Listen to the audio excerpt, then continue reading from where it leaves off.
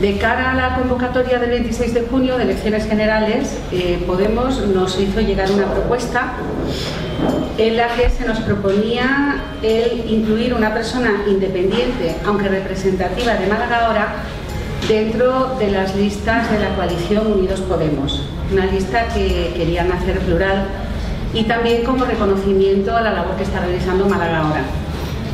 Ante esa oferta ha habido dos personas que se han presentado a título personal.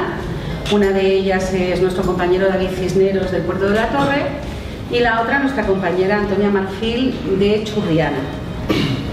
En una asamblea extraordinaria que celebramos eh, para este fin, eh, Málaga ahora ha dado su aval a estas dos personas y fueron las que se le han comunicado a Podemos para entrar en la lista, una de ellas, de Unidos Podemos y finalmente Unidos Podemos ha decidido, en función de las listas cremallera que se han elaborado y en función del puesto que ocupaba, seleccionar a Antonio Marfil.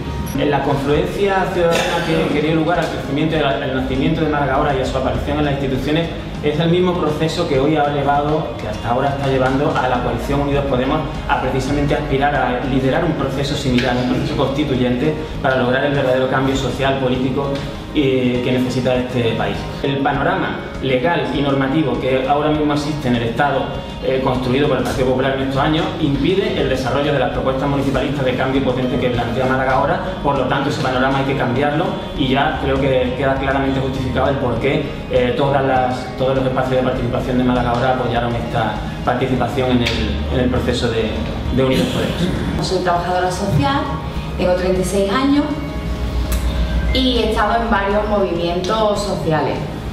Empecé primero con, colaborar, o sea, colaborando con colectivos, eh, después también estuve en el 15M, que es donde realmente yo vi que había esperanza, esperanza en el pueblo porque la gente se estaba moviendo. También he estado activamente en María Naranja, eh, para, que, para defender los servicios sociales y de calidad. Estoy también en el Consejo Vecinal de, de Churriana, que es mi barrio, y de Málaga ahora.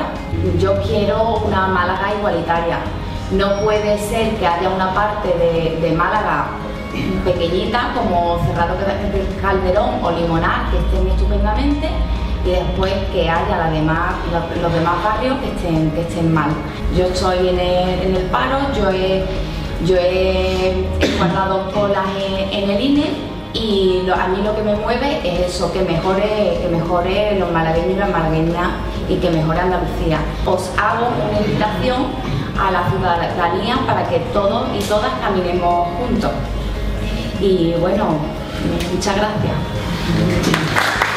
Celebramos también que una compañera nuestra puede integrar las listas de Unidos Podemos con las máximas que siempre nos hemos marcado en mala hora de caminar eh, preguntando, de mandar obedeciendo, de llamar a la participación y que nunca más la institución esté alejada de la gente y sea algo a lo que no podemos alcanzar. La gente entiende que el ayuntamiento es su primera instancia de democracia y la gente no entiende que el ayuntamiento, su primera eh, instancia de democracia donde lo representan los políticos más cercanos no tengan competencia para resolverle sus problemas diarios. Por tanto, creemos que esto es una buena noticia y creemos que unidos podemos en la fuerza que puede lograr cambiar este país. Saludamos a Tony también con mucha alegría que vaya como como una persona representativa de Málaga, de ahora en esas listas, en esas listas del cambio, en esas listas que, recoge como, no puede ser de otra manera la ilusión que Málaga ahora también ha demostrado desde, que se inició este, esta candidatura. Eh, a Tony se lo olvidó decir algo, pero Tony eh, la recuerdo eh, porque participó en el Foro de Derechos Sociales de, Málaga ahora. Se te ha olvidado decirlo y me parece importante importante comentarlo porque es un foro y muy importante para, para nosotras. Nos deseamos mucha suerte y mucha alegría en esta campaña y que por sobre todo, que te lo pases muy bien. y que, que, no perdamos la alegría en ningún momento.